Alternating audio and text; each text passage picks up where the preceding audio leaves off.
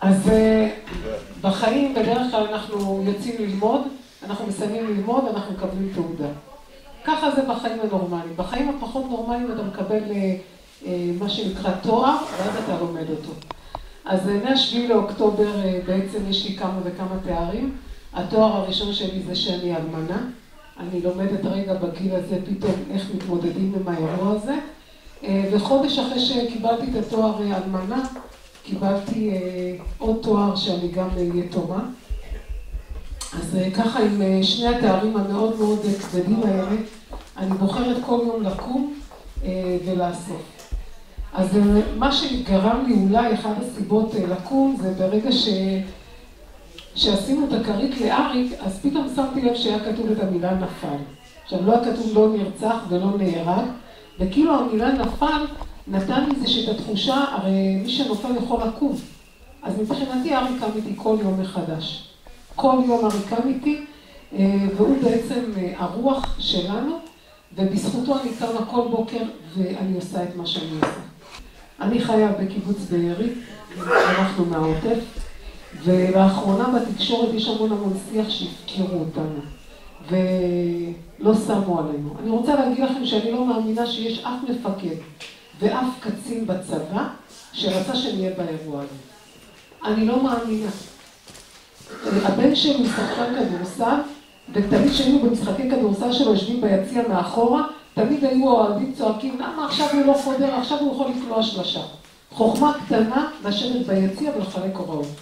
רק מי שעולה על המגרש יודע לשחק את המשחק. אנחנו מניסיון קרוב, יכול להיות שחטאנו בחטא היוהרה, ויכול להיות שזלזלנו בשכנים שלנו, אבל אני לא מאמינה שיש איזשהו קצין או מפקד, או בדרגה הכי הכי בכירה, שרצה שמדינת ישראל תהיה באירוע הזה, ובטח לא העוטף. אני לפני שלושה שבועות או יותר, קיבלתי איזשהו סרטון שמראים כמה יחידות היו מפוזרות סביב בארי, ואף אחד לא נכנס. ואז כתוב בענק, הופקרנו. אני יכולה להגיד לכם ממקור ראשון, המפקדים עוד נהרגו בכניסה, או רגע הם קפצו לראות מה קורה. אם חס ושלום היו מכניסים את כל כך, יח... את כל כך הרבה יחידות באותו שבת אלינו, הכמות חיילים שהיינו מאבדים, היא הייתה פי שתיים או שלוש יותר גדול. היו המון יחידות, אף אחד לא ידע מה צריך לעשות, אף אחד לא ידע את גודל האירוע, אני רוצה להגיד לכם שרק מקיבוץ בארי בלבד, יצאו כ-350 גופות של מחבלים. כן. גודל האירוע היה גודל גדול. הפלישה הייתה ב-60 מוקדים. לקחת את הצבא, כשידענו מה קורה, ולפני החגים הם קיבלו את כל מה שהם רוצים, לקחת את אותן יחידות ולהכניס אותן לתוך ברי שאנחנו לא ידענו את גודל האירוע, אז אני חושבת שהיינו משלמים בחיי אדם כפול ומכופל. אז אני, יש לי רבדים של אובדן. יש לי אובדן אישי, יש לי אובדן של חברים מאוד מאוד קרובים. זה אומר שאם זה היה קורה רק לי, אז יום אחר כך כל החברים הקרובים היו באים ואוספים אותי ואת הילדים שלי, אבל גם החברים הקרובים שלי לא בין החיים. אין לי קהילה, אתם מגיעים לפה כקהילת מונוסון, קהילת בארי מפוזרת בין החיים ובין המתים. אנחנו בים המלח, אנחנו בעין גדי, אנחנו בתל אביב, אנחנו פזורים בכל מיני דירות ברחבי הארץ. גם המתים שלנו. אנחנו קבורים ברביבים, אנחנו קבורים בהר הרצל, אנחנו קבורים בסביון ואנחנו קבורים ביהוד. אחת הקהילות החזקות ביותר בעוטף מפוזרת לכל מקום. ואין לי בית. אני חיה בדירה שנתנו לי אותה, אבל זה לא בית. בית זה תחושת שייכות, ואתה מגיע בסוף היום ואתה כאילו נושם מרווחה, אין לי את זה. יש לי כל כך הרבה רבדים של אובדן, אבל יש לי בית פנימי חזק. ואני, עם כל הרבדים האלה, אני בוחרת למחול. אני יודעת שכשלנו. וכישלון לא נחשב כישלון ברגע שאתה לא מפסיק. המפקדים הכי בכירים נמצאים בתוך עזה, קיבוץ בארי היום תחת שליטה של חברי קיבוץ בארי, בהתחלה היה, כבשו אותנו מחבלים, תיארנו את המקום, הצבא חזר ושלט בקיבוץ בארי, היום אין חייל אחד בתוך קיבוץ בארי. קיבוץ בארי, מה שתופס אותו זה כיתת הכוננות וחברי קיבוץ בארי. אז אני מרגישה שהיה פה כישלון, אבל יחד עם זאת הייתה פה למידה. ואולי חרבות ברזל נתנה לנו רגע להבין מי הוא האויב שנמצא ממול. ואני חושבת שהיום זה הזמן לספר סיפורי גבורה, לספר כמה אנשים עושים ימים כלילות ובאים ומצילים אותנו כעוטף. הסטטוס השני שנמצא לאריק עד היום בוואטסאפ זה דיבור שאינו דבוק למעשה, אין בו ערך, וזה אמר דוד בן גוריון. אני רוצה להגיד לכם שאני מצאתי את המשפט הזה, אל תקנו מילים שלא עולות כסף, תקנו מעשים שאין להם מחיר. והודיתי לכם בהתחלה, כי המעשים של הקהילות שלכם שעטפו אותנו, אין להם מחיר. אף אחד לא דיבר איתי. בא בן אדם, אסף אותי, אמר לי, זה הבית שאת יכולה לגור בו עד אוקטובר 24. בא אדם, נתן לי מפתח של אוטו ואמר לי, את יכולה לנסוע כדי שתוכלי לקחת את הילדים שלך. ואני לא מדברת על התרומות הכספיות, הזה. יחד עם זאת, אני מאמינה באדוות. אריק המון המון שנים היה רכז חינוך. אריק את אותם ילדים שלא מצאו להם מקומות להיות, אריק אסף אותם ואמר, הם יכולים לעשות, לא כולם חייבים לשבת ולהצטיין, אבל הם יכולים לעשות מעשה. וכקהילה, כקיבוץ, אה, אם זה שהיו בחירות והיה חסר לנו כוח אדם בדפוס, אז אריק אסף את אותו נוער. אם היינו צריכים להתגייס למשפחות ניצולי שואה באזור העוטף, היינו עושים את זה. והיום אני מבינה שמעשים אין להם מחיר. לפעמים אנחנו מדברים, מדברים, אבל מעשה שפתאום נוגע באותו בן אדם שהוא אפילו לא צריך לבקש, אלא מישהו עושה למענו ללא מילים, אין לזה מחיר. יש הרבה פעמים שאנחנו נכנסים לאיזשהו תפקיד ואנחנו ישר לא קוצרים הצלחות. ישר, טה טה טה טה, ואנחנו אומרים, וואלה, איזה תותחים אנחנו. אריק שלי תמיד זכר את מי שהיה לפניו. אז כאן אפשר לראות את אה, אריק, הרבש"ץ הקודם של קיבוץ בארי. וכשאריק שלי היה אמור אה, לקבל איזושהי תעודת הצטיינות, אז הוא אמר מפקד אוגדת אז, אמר לו, תגידי, אבל מה עם אריק הקודם? הוא אומר לו, לא, זה קרה עכשיו, כשאתה בתפקיד. הוא אומר, כן, אבל הוא עשה לפניי. אז אה, בטקס מאוד מאוד מרגש, אריק זכה לקבל פה תעודה על פועלו בעבר ממפקד אוגדת עזה, מראש המועצה ומקבת המועצה. כאן זה אילן פיורנטינו, רבש"ץ נחל הוא נהרג חצי שעה אחרי אריק. ואילן גם אה, פחות קיבל תעודות ממה שאריק שלי היה צריך לקבל, ובאותו קיץ אריק היה צריך לקבל לו תעודה. הוא אמר, אבל מה עם אילן? אמרו לו, אבל זה לא פעולות שלא קרו בנחל עוז, זה קרה בבארי. הוא אומר, כן, אבל נחל עוז ספגו לא פחות. אז בקיץ האחרון אה, אילן זכה לקבל תעודה מאוגדת עזה. ואני רוצה להגיד לכם שיש ימים שהם אה, קצת יותר קשים לי ביום יום שאני קמה. אבל אני רגע נזכרת שהבן הגדול שלי הוא בן 22, הבת שלי בת 21, בת 18 ובת 14. זה אותו רגע שאני מודה לבורא עולם שהילדים שלי זכו ליותר שנים להיות עם אבא שלהם, כי אילן בעצם השאיר שלוש בנות, בנות שמונה ובנות שש ובנות שנתיים. אז צרת רבים חצי נחמה תופסת אצלי משמעות כל כך רבה בימים האלה. אני רגע מסתכלת ימינה-שמאלה ואני זוכרת מי יושב איתי באותה קערה שנקראת חרבות ברזל. שנשארו גם ילדים יתומים בלי הורים ובלי אחים, וזה אותו דקה שאני רגע עוצרת ואני אומרת תודה על מנת חלקי גם בשעות הקשות האלה. האדם הוא מעט ממה שהוא נולד והרבה ממה שהוא עושה מעצמו. אז לא אריק ולא אני, אנחנו לא אנשי אקדמיה, לא למדנו, אבל יחד עם זאת אנחנו אנשי מעשים, אנחנו אנשים שלכל תפקיד מביאים את הדבר הכי חשוב וזה לב. וזו אהבה מאוד מאוד גדולה למה שאנחנו עושים. אז אה, כמו שאמרתי לכם, אריק המון שנים היה רכז נעורים, וזאת תמונה מאוד משמעותית בעיניי. אריק היה לו קטע שכולם זוכרים אותו, שהוא היה מצ'פח את כולם על הכתפיים. והייתי אומרת לו, אריק, אבל זה כואב בכתף. הוא אומר לי, לא, לא, אני פשוט מזכיר לכל אחד את רוחב הכתפיים שלו, שיזכור כמה הוא יכול לשאת. אריק תמיד שדיבר אלינו, הוא רחן את הראש והסתכל עליהם בגובה העיניים. קיבוץ בארי, יש לנו מסורת מאוד מאוד גדולה שזה שנת בר מצווה. אנחנו לוקחים את כל הנוער שזאת השנה שלהם, שיש להם שנת בר מצווה, ואנחנו אומרים להם, תקשיבו, ככה לא התחיל הקיבוץ. שיש כסף, וזה קיבוץ עשיר וקיבוץ גדול. התחיל עם קיבוץ נורא מצומצם, שעבדו בשדות. אז אריק בנה איזושהי תוכנית שהוא לוקח את אותו נוער למשך שבועיים, מכניס אותם לפרויקט שנקרא קיבוץ של פעם. הם הולכים לוועדות, הם עושים המון דברים ומקיימים את עצמם כדי להבין מאיפה באת. אז אה, יש לנו אמפי מאוד מאוד גדול, שעושים כתובות אש, אה, ובעצם חונכים שנה מאוד משמעותית, שבעצם אתה בונה לך חיים עצמאיים, אבל אתה זוכר תמיד מאיפה באת. אז כאן אפשר לראות את אריק בפורים, כשמגיעים לעד אלו ידע והי"בניקים כבר יכולים לשתות. אריק תמיד כרכז נעורים דאג לעמוד פה בצד ולראות את אותו ילד שכבר שתה יותר מדי ואין מי שיאסוף אותו, הוא פשוט אוסף אותו בקלפקר ומביא אותו הביתה. כאן זה בתקופות הסלמה, שהנוער היה להם הרבה מה להגיד, אז אריק הפגיש אותם עם בוגי, שיגיד להם איך חווים הנוער של העוטף את החיים.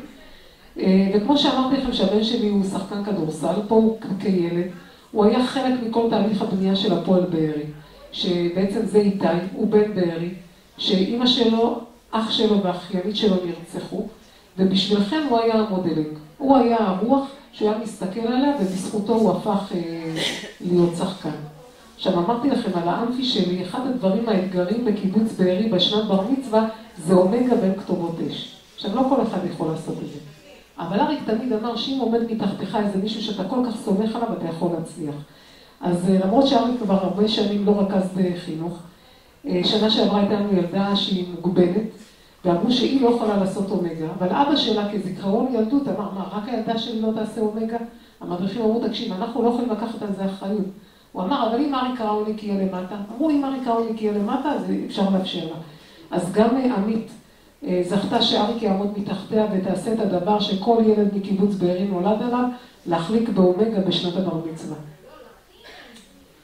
אז אה, קיבוץ בארי נוסד ב-1946 במבצע 11 הנקודות אה, בנגב. זאתי בארי הישנה נחביר, וזה דפוס בארי. אני לא חושבת שיש מישהו שלא מכיר את קיבוץ בארי, את דפוס בארי. אנחנו מנפיקים רישיונות נהיגה, תעודות זהות, כרטיסי אשראי, תלושי שכר, דוחות, it, אבל זאת לא הנקודה. קיבוץ בארי, דפוס בארי, אחרי שבוע ויומיים פתח את שעריו. קיבוץ בארי כבר שנים יש לו תואר של מפעל חיוני. מפעל חיוני זה אומר כשהמדינה נסגרת, קיבוץ בארי נפתח. כשיש קורונה וכולם בבתים ולא מתפרנסים, קיבוץ בארי פותח את שעריו ומתחיל לעבוד. קיבוץ בארי הוכיח לבניו ולמדינה שלמה שהמילה אחריות מתחילה באות א' ומסתיימת באות ת'. וזה שיש לנו תעודה של מפעל חיוני, ולמרות שיש לנו רבדים של אובדן, ולמרות שהבתים שלנו לא קיימים ואין קהילה, יש מדינה שלמה שהיא חיונית עבורנו. פתחנו את שערינו, אספנו את הבנים והתחלנו להפעיל את הדפוס. כי ידענו שיש חיילים שצריכים רישיונות נהיגה, ידענו שחלק גדול מהעוטף בזזו להם את כל הכספים ואת כל הכרטיסי אשראי, דפוס בארי נעמד ואמר, לא משנה מאיזה כוח יש לי, אני אקום ואפעיל אותו. עבורי זו זכות גדולה לחיות במקום שאלה הם הערכים שלו. הבן שלי היה עושה כל יום נסיעה מהמרכז לקיבוץ בארי, כי היו צריכים אותו, כי יש מדינה שלמה שהיא חיונית. ואם אתה מקבל איזושהי תעודה או איזשהו תואר, אתה צריך להבין שאתה נושא עליך אחריות. ולא סתם המילה אחריות מתחילה באות א' ומסתיימת באות א'. האדם עושה את התפקיד ולא את התפקיד את האדם, אז אריק, אה, תמיד כשהוא היה לוקח איזשהו תפקיד, הוא לקח איזשהו קורסים של קצה כדי שהוא יוכל לתת את המענה המיטבי. אז תמיד שבתקופות אה, שהיה יורד גשם בעוטף וכולם היו באים לראות את השיטפונות, תמיד היו אנשים שנתקעים. בדרך כלל מי שנתקע מתקשר למשטרה שתחלץ אותו. משטרת אופקים, נתיבות ושדרות ידעו שאם מישהו נתקע בעוטף, מתקשרים לרבש"ץ קיבוץ בארי. אז כאן אפשר לראות את אריק תמיד בתקופות הכי סוערות הוא היה מחלץ אנשים. כשהיו שולחים לנו בלוני תבערה, תמיד שלחו איתו איזשהו רחפן עם פצצות. אריק היה נוסע תלם תלם, סנטימטר סנטימטר לעבור את כל האזור שנפל שם משהו, כדי שבטעות לא יגיע פה רוכב אופניים, יעלה על זה ויאבד את רגליו. לנו לעולם, לעולם לא ברור שהצבא שומר עלינו. זה לא ברור, מבחינתנו זו זכות גדולה. אנחנו בחרנו לחיות בעוטף, והמדינה בוחרת לשים את החיילים שישמרו עלינו.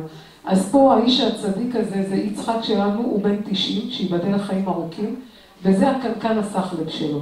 אין חורף שמי שמשרת בעוטף לא זוכה שיצחק יבוא וייתן לו סחלב, ואריק תמיד היה מסיע אותו. פה לצערי הגדול והרב אף אחד מבין שלושתם לא נמצא. אה, כשהיה חייל נפצע או מישהו מגיע למצב קשה, אריק היה מקפיץ כיתת כוננות על מנת שילכו ויתרמו דם לאותם חיילים שזקוקים לזה. וזאת תמונה אחת מיני רבים בזכות המסירות, האהבה לעוטף, למדינה, אריק קיבל כל כך הרבה תעודות הצטיינות מכל מפקדי אוגדת עזה לדורותיהם. אז אריק רבש"ץ קיבוץ בארי מ-2019.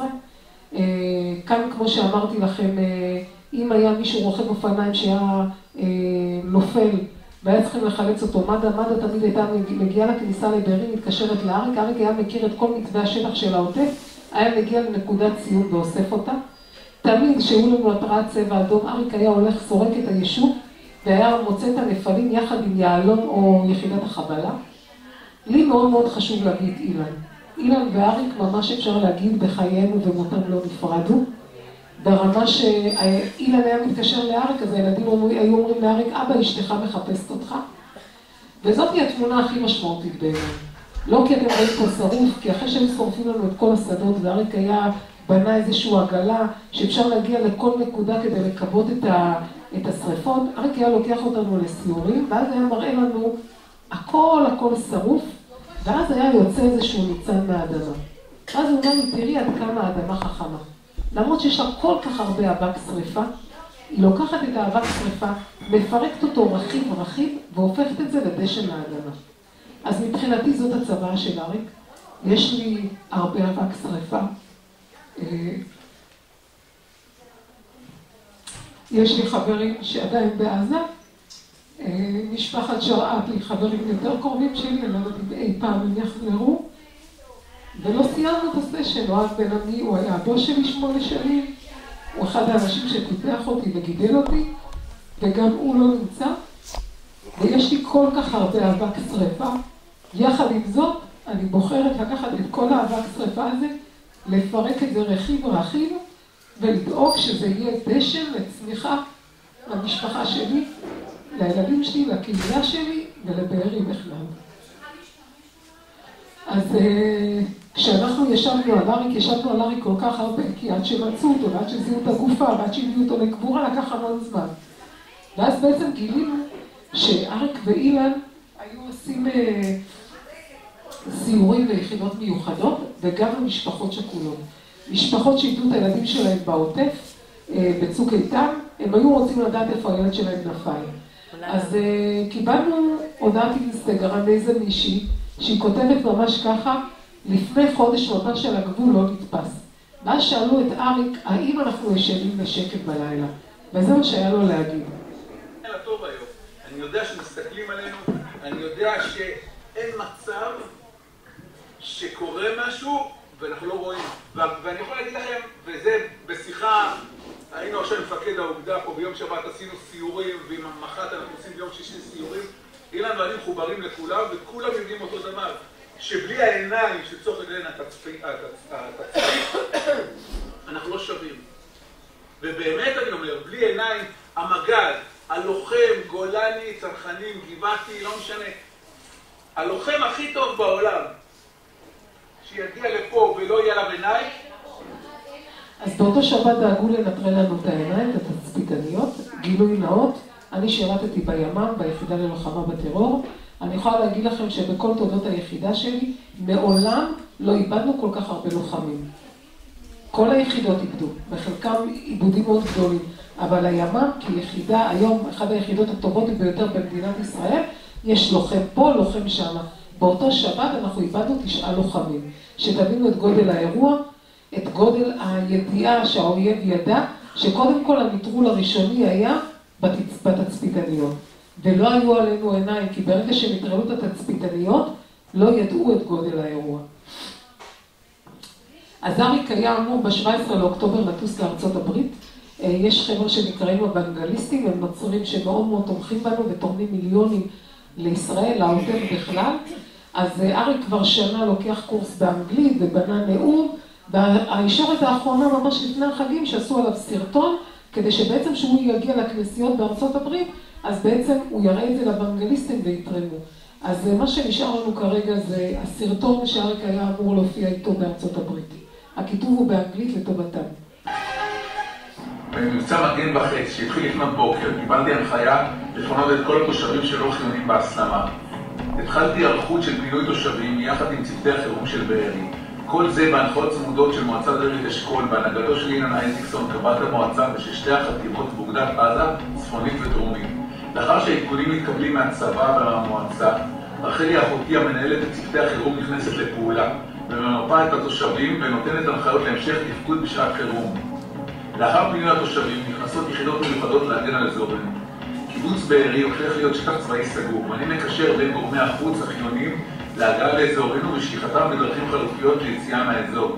במסגרת תפקידי כרבש"ץ, אני עובד מול כל גורמי הביטחון בהסלמה, יחידות מיוחדות, גורמי מודיעין, כיבוי אש, משטרה ומגן דוד אדום.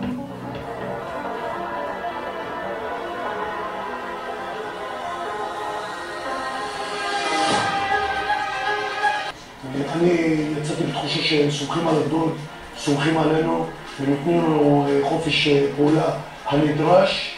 עכשיו בארי, אחראי ואמון על כל הביטחון בתוך היישוב, מבצע את העבודה שלו נאמנה.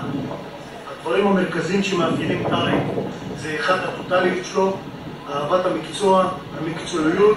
חשוב להגיד שבמהלך שלושה חודשים היה לנו שלושה אה, אה, התראות מרכזיות אה, שהן התראות אה, שהבנו שהאויב הולך לפגוע באזרחים ולבצע פעולות אה, נגד אזרחי מדינת ישראל ואריק הראשון שהתייצב עם הכיתת כוננות שלו, עם האנשים שלו והתרומה שלו רבה.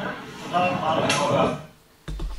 אז כמו שאתם רואים, זה היה חמישה חודשים לפני האירוע, היו שלוש התראות מרכזיות, היו סיכולים, ידענו שעומד לקרות משהו, היה גם הרבה פעמים זאב זאב ולא קרה כלום, ואריק תמיד היה הראשון, כי המילה אחריות זאת היה אחד מהערכים הגדולים אצלנו בבית. הוא יצא הראשון, ואחרי שהוא נהרג, אז כיתת הכוננות המשיכה להילחם על הבית שלנו. אז אה, אריק, אה, מאחר והוא לא היה רגיל לעמוד בפני קהל, והוא היה אמור לטוס אה, לפגוש את האוונגליסטים, אז הוא אמר לי, כל פעם שנגיע לאיזשהו מקום, אני אעמוד ואנאם כדי שיהיה לי מספיק ביטחון כשאני יטוס. אז זה יומיים לפני האירוע, היינו אצל המשפחה שלי ביישוב עלי, וזה מה שהיה לו להגיד. היה שווה להגיע לעלי. אני רוצה להגיע תודה, אני רוצה להגיד תודה רבה לניסים ואורלי שהזמינו אותנו לארח אותנו במשפחתם. היה ציור מהלב, מאוד נהנינו, ארוחה משובחת. כל שנה. שנה הבאה בעיר הקדומה. אני מאוד מאמינה בכוח של מילים, אז כנראה שאריק באמת בעלי הקדומה ואנחנו בישראל. אז מה קרה לנו בשבעה באוקטובר? בשבעה באוקטובר התעוררנו להתראות צבע אדום. אנחנו, את האמת, יש לנו 15 שניות מבחינתנו, זה המון. אריק אמר לי, תקומי ותעירי את נועה. עכשיו, אנחנו קיבוץ שיתופי, שלושת הילדים הגדולים שלי חיים במגורים של הצעירים. רק נועה גרה איתנו בבית. אני קמה להעיר את נועה, ואז מתחילה ארטילריה. אריק אומר לי, תקשיב, יש פה ארטילריה, נשמע לי משהו מוזר. תוך כדי שהוא מתארגן, הוא אומר לי, תאירי את נועה כי זה ארטילריה, עולים מולו בקשר כל הרבש"צים של יישובי אשכול, שזה 32 יישובים, וכל אחד מתריע, יש ירי ביישוב, יש ירי ביישוב, יש ירי ביישוב. ותוך כדי שאריק בבית, אה, זה מה שקורה כשהוא קיבל טלפון, ותקשיבו מה היה.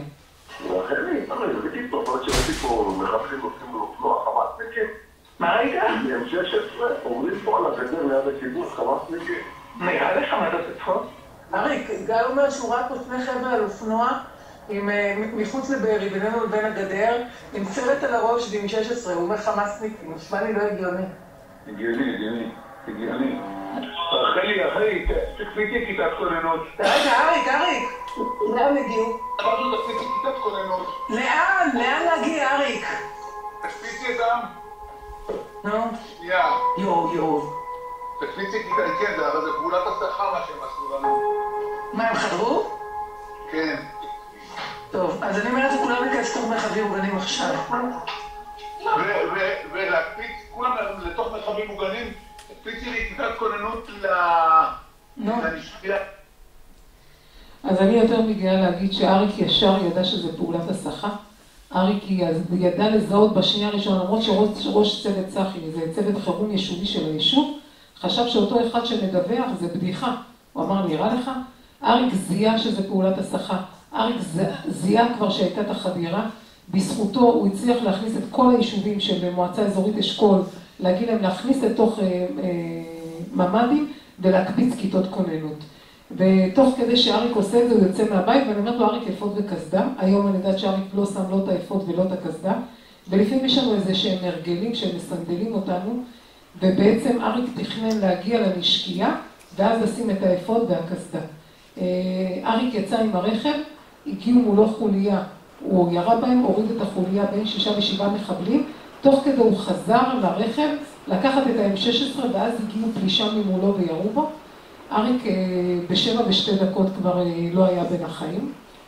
יש אתר שנקרא כל השמות והפנים, ואני חושבת שבימים האלה יותר חשוב שלכל שם יהיה פנים ולכל פנים יהיה שם.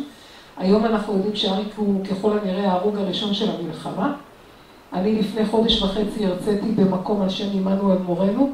זה גם אחד הלוחמים הגדולים של מדינת ישראל, שכנראה שלעולם לא נדע את פניו, אבל השם שלו הוא רוח עבורנו. אה, ואריק אה, בגופו הציל כל כך הרבה, נכון עשרה אחוז מאיתנו כבר לא בין החיים, אבל נשארנו תשעים ואנחנו משתדלים להסתכל על, אה, על הטוב ועל מי שנשאר. אז נועה ואני היינו 17 שעות בממ"ד. אני בכוונה שמתי פה את התמונה של הכלבה שלי, כלבת רוטוויילר, ואם אני מחלקת פה פתקי, תכתבו לי מה אתם חושבים על הכלבה, יגידו מסוכנת, תוקפנית, טה-טה-טה-טה.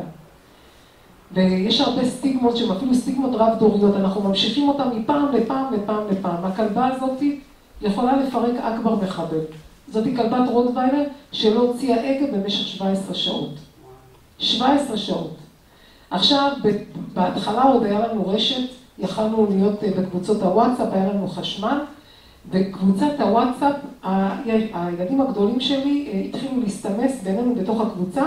הילדה השלישית שלי רק לפני חודש עברה למגורי הצעירים, והיא כותבת לי, אמא, אני פוחדת מה אני עושה, אמרת, כנסי מתחת למיטה, ותכניסי את הטלפון על השקט ותהיי שם. אמרתי, אני יכולה לבוא אליך? אמרתי לה, ממש לא. הבת השנייה שלי קצינה במג"ב, אה, גם היא בחדר שלה וגם הבן שלי. תוך כדי קבוצת הוואטסאפ של קיבוץ בארי משתוללת. יש מחבל פה, יש מחבל שם, זה ככה, זה חטפו אותי, זה לקחו אותי. אני הרגשתי כאילו מישהו מחבר אליי צינור, ושותה לי את כל האנרגיה בגוש. הרגשתי שאני לא מצליחה לנשום. אמרתי לבת הקטנה שלי, תקשיבי, חשב מסלול מחדש. את רק על הקבוצה של המשפחה. היא אומרת לי, אמא, כתוב, אמרת שום דבר, רק על הקבוצה של המשפחה. עכשיו, סיפרתי לכם שהייתי בימ"ם. לוחמים או תלמידים או לא משנה מה, אתה חייב להיות מקוון מטרה. אתה חייב לנטרל את כל רקשי, רעשי הרקע מסביב. אני הבנתי שאם אני אדע מה קורה בבארי, אני לא אצליח להחזיק. עכשיו, דרך אגב, שני השכנים שלי משמאל נרצחו והשכן ממולי נרצח. עכשיו, אם אני יודעת שהמחבל נמצא מטר ממני, אני יכולה להגיד, אוקיי, מחבל, זה משהו גדול, אני עוזבת את הכל ואולי אני יוצאת החוצה. אני דבר אחד הייתי ממוקדת מטרה, זה הידית של הממ"ד. אני החזקתי את הידית של הממ"ד. הבת שלי כותבת לי, אמא, אני נורא נורא מפחדת, אמרתי לה, מה את נמצאת? היא אומרת לי, מ"ם 16, אמרתי לה, מעולה, דריכה שקטה, ואת יורה. היא אומרת לי, מה לעשות? אמרתי לה, את יורה על מנת להרוג, אנחנו לא יודעים באיזה מצב. עכשיו, לא ידעתי את הכמות, ואני חושבת שזה מה שהציל אותי. היינו על הידית של הממ"ד, ואז אנחנו שומעים אותם מתחילים לשבור ולירות בדלת של הכניסה. עכשיו תקשיבו, הם לא נכנסו בשקט כמו גנבים. הם נכנסו בקולי קולות, כאילו מי אתם? הם נכנסו זכוכים, בטוחים, דיברו בערבית. אולי הייתה לי השגחה עליונה, אולי בגלל שהם ידעו שזה הבית של הרב שץ, אולי בגלל שהם ידעו שיש לי כלבת רוטוויילר, אני משום מה בחרתי לא להוציא הגה. אני לא הוצאתי מילה. למרות שהם לקחו ונתנו לום בחלון של הממ"ד כדי שאני אבהל ואני אצעק, אנחנו לא הוצאנו מילה. חבר קרוב שלי, שבטח ראיתי אותו בטלוויזיה, שהוא קטוע רגל ואשתו והבן שלו נרצחו, הוא בסך הכל אמר להם, רוחו רוחו וולד. זה כמו שמישהו, אתה נוגע לו בטריגר, אתה מסובב לו את המוח והוא לא יודע מה הוא עושה. אני לא הוצאתי הגה. ואז הם התחילו לתת מכות ולשבור, אני סימנתי לנועה, אמרתי לה, בואי, אני החזקתי פה על הידית של הממ"ד, והיא הייתה לפניי. ואני באיזשהו שלב, המוח הרי לא יודע להבחין בין מציאות לדמיון. אני פתאום דמיינתי שהם נכנסים לממ"ד, עושים לנועה את מה שהם עושים, נכנסים, עושים לי את מה שהם עושים, מתעללים עוד קצת, הרגשתי גל חום ופשוט התעלפתי על הגב שלה. נועה לקחה אותי, הניחה אותי על המיטה, ועם כל הכובד של המשקל שלה, החזיקה את הידית של הממ"ד. ואז אמרתי, אני חשבתי כמה שניות, נועה אומרת, אמא, לקח לך כמה דקות. אמרתי, סיגל, תחזרי ריוויינד אחור בסרט, זה לא הסרט. איפה עכשיו? הם בתוך הבית. הם בממ"ד? עוד לא. יכול להיות שיש לך עוד חמש דקות להיות עם נועה, תנצי את החמש דקות האלה. פשוט קמתי, החזקתי את הידית ונשקתי לה את הגב. אמרתי כמה זמן שהקדוש ברוך הוא נותן לי להיות עם הילדה, אני עם הילדה. והחזקנו את הידית של הממ"ד. יכולה להדליק את האור בחזרה קצת? אני לא יודעת איפה מדליקים את האורות. ואז, תוך כדי שאני... תוך כדי שאני מחזיקה את הידית של הממ"ד, הם ניסו להתעסק עם הידית של הממ"ד, לא יותר מדי, אנחנו פשוט שנינו ישבנו על הידית, הם ניסו והם המשיכו להתקדם. עכשיו הייתי בדממה מוחלטת. תוך כדי אני מקבלת טלפון, אריק עבד עם אנשי שירות, איש שירות מרים לי טלפון, אומר לי, מה קורה, הכל בסדר? אני אומרת לו, כן, מה איתך? אמרתי לו, תגיד לי, מה קורה? יש צבא, אין צבא, אני רוצה לדעת מה קורה, מה השיגה, הכל בסדר. עכשיו, הוא כנראה ידע שאריק כבר נהרג, אמרת לו, תגיד לי, לא נראה לך הגיוני, אריק לא מתקשר לא אליי, לא אל הילדים, מה קורה? אומר לי, אני מתפלל עלייך. איש שמנהל לחימה לא מתקשר לאשתו, תני לו לסיים לחימה. בלעתי את זה. הוא אומר לי רק דבר אחד, את לא יוצאת גם אם את שומעת צבא. הם כנראה ממלכדים את הבתים, עד שאת לא שומעת קוד את לא יוצאת. אמרתי, טוב. המשכתי להיות הידית של הממ"ד, הייתה דממת אלחוט, ואז אני שומעת צירים של דלת. ואז אני הבנתי שהם בתוך הבית. עכשיו אני כל פעם זרקתי לי מעין בלון חמצן. שמעתי אוטומט, אמרתי, אוקיי, להם אין אוטומט, כי גם אני זלזלתי בהם. אמרתי, מה, מחבלים מעזה, מה כבר יכול להיות להם? שמעתי אוטומט, אמרתי, אוקיי, זה הצבא שלנו. נשמתי, שמעתי רעש של משהו נוסע, אמרתי, נועה, מה זה נראה לך? לא, אמרתי, מה, זה הטנקים. אמרתי, טנקים, ברוך השם, הצבא פה. כל הזמן, במקום להגדיל את הפחד, צמצמתי את מה שאני יכולה עוד להמשיך ולהחזיק את הדלת. בכל דקה הודיתי. עכשיו אני רוצה להגיד לכם שדיברתי קצת על התקשורת, וגם אמרתי שאתם יודעים, ששלחו לי כל מיני סרטונים, אז uh, היום כשבאים לצלם אותי מגיע תחקירן, שואל אותי שאלות ועוד שאלות, ואחר כך הוא מביא את זה לכתב והם מעלים את מה שהם רוצים. ואז אני משגע אותי שנגיד שמו את השלט הלבן, איך לוחמים ירו בחטופים. לאף לוחם אין תחקירן על הכתף. כשאתה בתוך עזה יש לך מאית שנייה לקבל החלטה אם אתה יורה עכשיו או אחר כך. ואני הבנתי שיש אינפורמציה שהיא לא טובה לי. אני לא הייתי מחוברת על שום רשת בבארי. ואני עבדתי כמו בן אדם אוטומט. יש לי שלושה ילדים שלא נמצאים איתי. עכשיו אמרתי, רגע, הדאגה הרלוונטית כן או לא? הם נמצאים שני קילומטר ממני. אני יכולה לצאת? לא. אני יכולה לעשות משהו? לא. טק, נטרלתי את הדאגה. אמרתי, אני כרגע מה שאני יכולה לעשות בכאן ועכשיו, זה אני ונועה והכלבה. וזה מה שעשיתי. עכשיו, עוד גילוי נאות.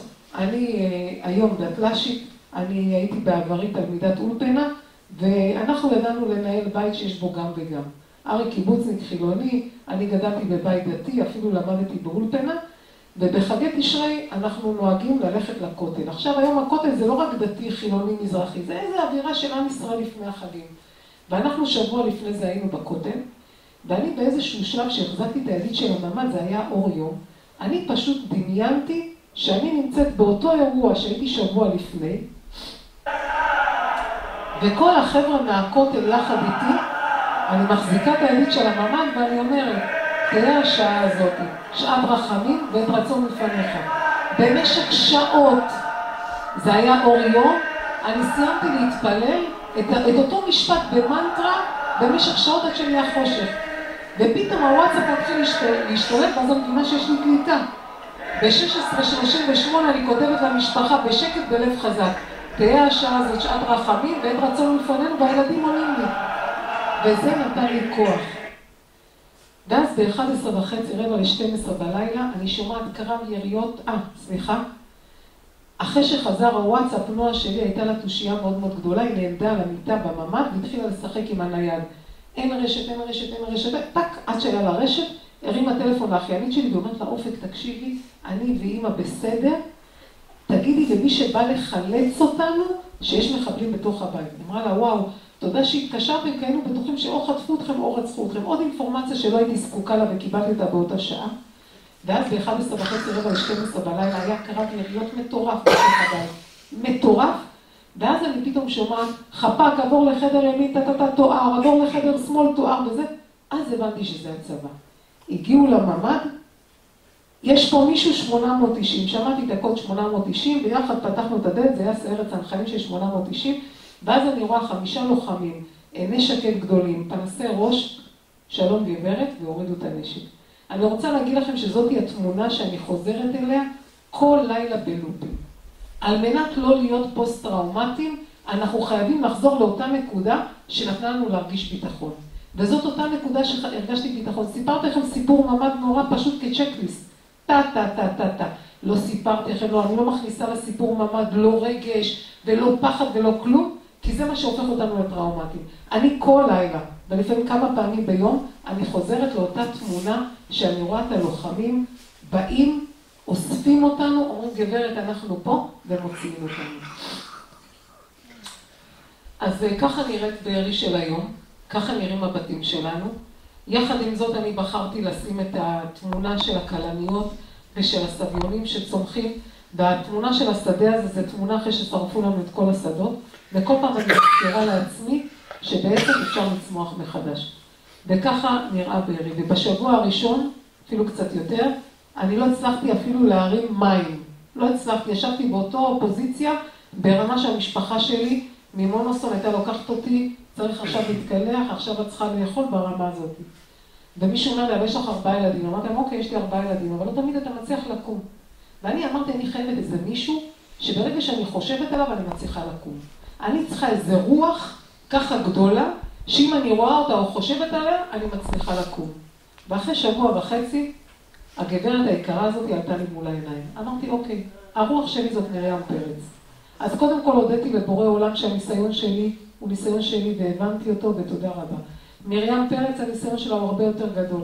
מרים, לצערנו, שכלה שני בנים, ובעלה אחר כך מת מצער.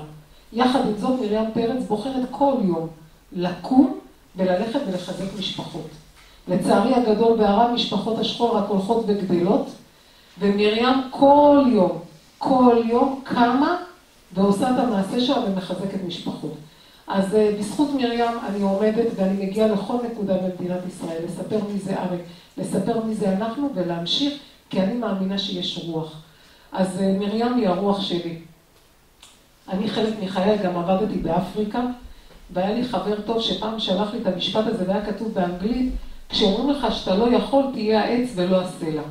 והיום אפשר לראות אם אנחנו מסתובבים כמה רקפות צומחות מתוך סלעים. אז אני אומרת שהיום מה שקרו זה חתכו לנו את הגזע, אבל אף אחד לא עקר אותנו מהשורשים.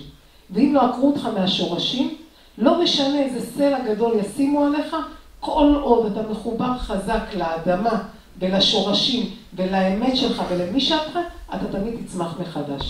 אז אה, אני העץ, ככה אני בוחרת לראות את עצמי ולהמשיך, ויש עלינו סלע, אבל יחד עם זאת אנחנו לומדים כל יום לסדוק אותו מחדש. אז יש לי עוד תואר, אני גם משפחה שכולה, וכחלק ממשפחה שכולה אני יכולה לבחור אה, שהבנות שלי לא יעשו שירות משמעותי.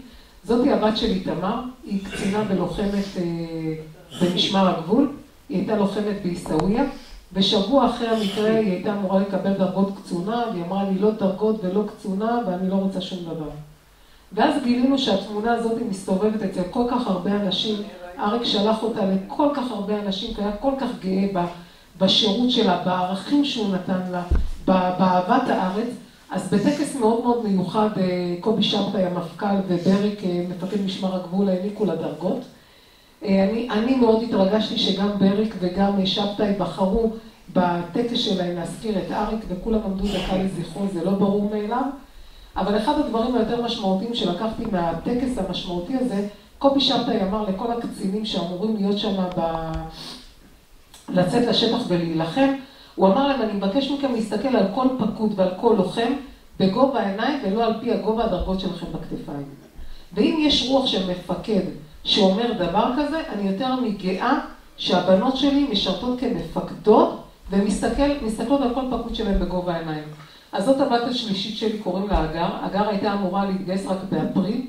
יחד עם זאת היא בחרה אה, להקדים את הגיוס שלה, גם היא בחרה לעשות אה, שירות קרבי, והיא ביקשה שאני אחתום לה. להגיד לכם שהיה לי קל, לא היה לי קל. יחד עם זאת אני לומדת לקחת את הכאב ולשים אותו בצד, ואת הפחד לשים אותו עוד יותר בצד, על מנת שהפחדים שלי לא חס וחלילה יחשקו את החלומות של הילדים שלי. אחד האנשים שמלווה אותי המון שנים, אני חושבת בתור עוד ילדה, זה ויקטור פרנקל, אדם מחפש משמעות. ותמיד ויקטור היה אומר דבר פשוט, אם אתה מסתכל על אדם כמו שהוא, אתה מקטין אותו. אבל אם אתה מסתכל למה הוא עוד יכול להיות, אתה מגביה אותו. גם מטוס שרוצה להמריא, הוא חייב לעלות זווית ל-90 מעלות. אז אה, גם לנסוע בכבישים, והיום אני נוסעת לבארי עם אה, בן דוד שלי שבא להיות איתי מארצות הברית, וגם זה מפחיד. אבל אם אתה יוצק לעצמך משמעות, ואתה יודע למה, אם יש לך למה אתה קם, אתה יודע איך אתה עושה את זה. אם אין לך את הלמה, אין לך איך. אז אני בוחרת כל יום לראות את הלמה, ואז אני יודעת איך אני עושה את זה. אז אה, זאת המשפחה שלי, משפחת קראוניק. אנחנו בפיזי בהרכב חסר, ברוח אנחנו בהרכב מלא. אה, ואני רוצה לספר לכם שבתקופה שישבתי, אז אה, חיפשו אותי המון אנשים. והיה איזה אחד שכל הזמן חיפש אותי ולא טרחתי לענות לו. אבל באחד הפעמים שחזרתי אליו, כי הוא כתב לי, אני חייב לספר לך משהו על אריק. ואמרתי, אם הוא בוחר לספר לי משהו על אריק, אז אני עונה לו. והתכתבתי איתו, והוא אמר לי, תקשיבי, אני פגשתי את אריק ואני רוצה לפגוש אותך. אמרתי לו בשמחה, הוא אומר לי, פחות, אני פשוט עושה משהו על המצפון שלי, שמאז האירוע אני לא מצליח לישון בלילה. הוא באמת הגיע אלינו הביתה, ואז הוא סיפר שהוא רוכב אופניים, הוא רכב באופניים, ופתאום הוא, הוא קלט את הפלישה של המחבלים, הוא בא להיכנס לאחת המיגוניות, אבל אז היו שם את כל החבר'ה מהנובה, אז הוא ברח חזרה לכיוון בארי, ואחד הלוחמים של בארי, הבנים שלנו ראה אותו, אמר לו בוא בוא בוא, הרבש"ץ ירוי בתוך הרכב. הוא אומר לו, באנו, ובעלך הוא איש גדול, הורדנו אותו, הפשטתי אותו כי רציתי להעניק לו עזרה ראשונה, למרות שאני חושב שלא היה מה לעשות, ואז הגיעו פלישה של מחבלים, ואני פשוט השארתי אותו עם תחתונים, ואני ברחתי. ומאז התמונה הזאת לא יוצאת לי מהראש. אני הייתי חייב להתוודות. אמרתי לו, תגיד לי, אני יכולה להגיד לך תודה? הוא אומר לי, על מה את אומרת לי תודה? אמרתי לו, תקשיב, אם אתה לא היית משאיר את ארק עם תחתונים, והיו רואים אותו עם מדים טקטיים, כנראה שלא הייתי עומדת פה היום, כי לא הייתי יודעת אם הוא חטוף חי או חטוף מת. אז אני רוצה להודות לך. הוא היה בשוק. ואמרתי לו, בזכותך, הם כנראה חשבו איזה מישהו שברח מהבית עם תחתונים והספיקו לראות בו. בזכות המעשה בעיניי, האצילי שלו, יש לי את הטלפון של אריק, יש לי את הטבעת נישואים של אריק, ואני בוחרת כל יום לקום מחדש, להמשיך. מישהו שאל אותי איך את משתקמת. אני לא משתקמת, כי אני בונה את עצמי מחדש. אי אפשר לשקם. חבר שלי שכרתו לו את הרגל, הוא לא יכול להשתקם, כי אין לו רגל. הוא יכול לבנות את עצמו מחדש עם הפרוטזה. אז אנחנו נמשיך. יש לנו יסודות מאוד מאוד חזקים, אנחנו מחוברים חזק לשורשים שלנו. אנחנו בעזרת השם ניבנה מחדש, ואני בוחרת כל יום לקום ולראות את הטוב.